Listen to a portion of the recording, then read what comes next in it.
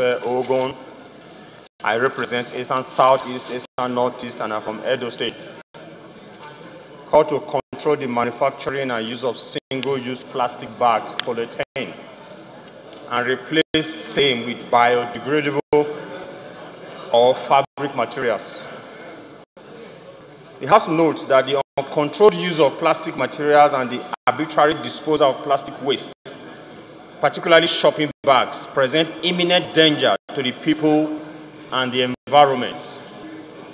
The House also notes that those non-degradable materials that litter the country stay for decades without decaying, and they eventually become a crucial cause of obstructed drainage and water channels that have precipitated flooding in some flood-prone areas, thereby endangering the ecosystem and contaminating agricultural soil.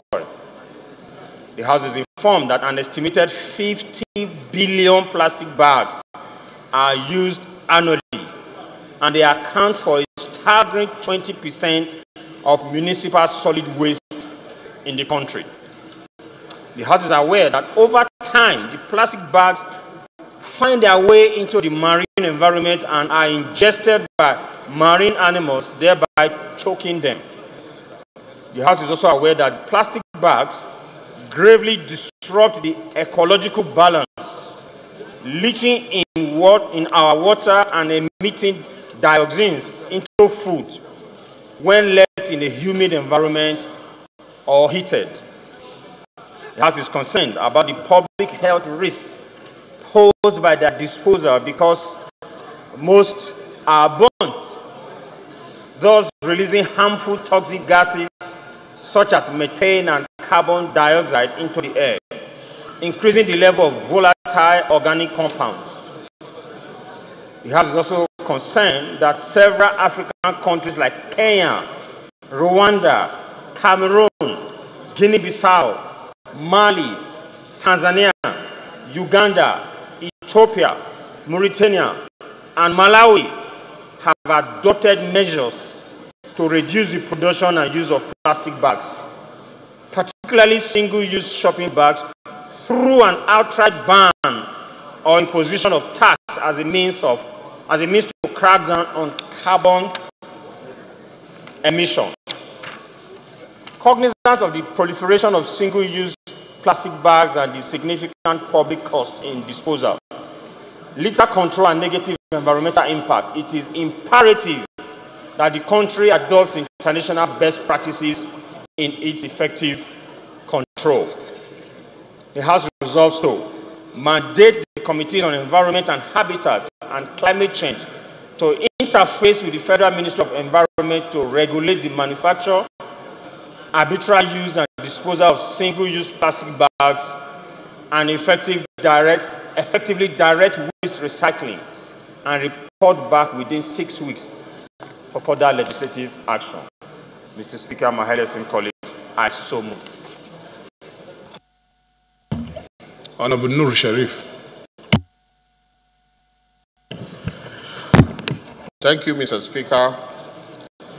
Um, honorable colleagues, my name is Mohammed Nur Sharif, representing Bama Ngala, Kalabalge Federal Constituency, Mr. Speaker. I'm from Borno State. I rise to second the motion ably moved by my colleague, Honorable Sir Jones. So I so second, Mr. Speaker and honorable colleagues. Honorable Ogun, please lead the debate. Thank you, Mr. Speaker. Mr. Speaker, this is a very straightforward and a harmless motion. I thought to bring this to our attention because of the hamlets, because of the, the debts, the, there are so many things we can control by making the simplest of decisions for the sake of our people. Now, if we control, if we talk about poverty in this country, it's understandable. But if we have to do the needful to preserve the lives of our people, it doesn't take anything from us. but to take the attention of the authority there so that the needful will be done. Mr. Speaker, the way we dispose and segregate waste in this country is a major problem. Now we have heard of flooding all over the world, and we are beginning to experience it even right here in this country.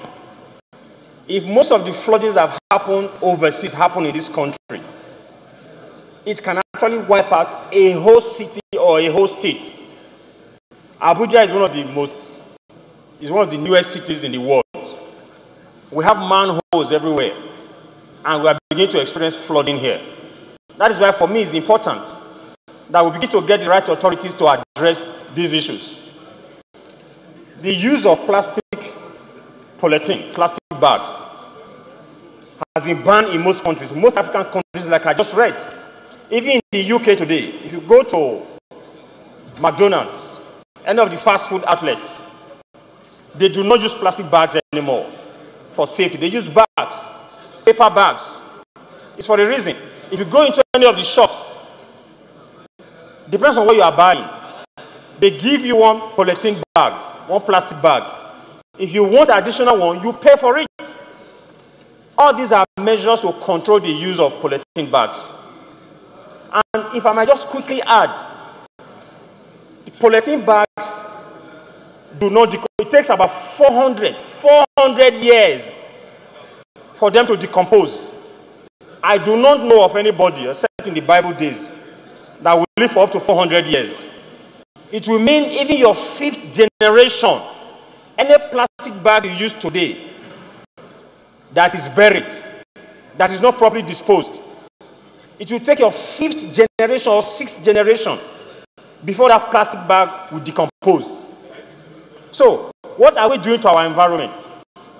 So, the simple thing, I will urge us to support this motion, allow the committee to do the needful, because I believe we can do a whole lot in getting the right authority to manage waste for the sake not just of, not for our own sake, maybe some of us are almost there, for the sake of the generation unborn, the generation that are coming after us. So thank you, Mr. Speaker, and my highly esteemed colleagues. I urge you to look at this objectively and um, pass it. Thank you. In favor of the motion, say aye. Those against it, say nay. The ayes have it.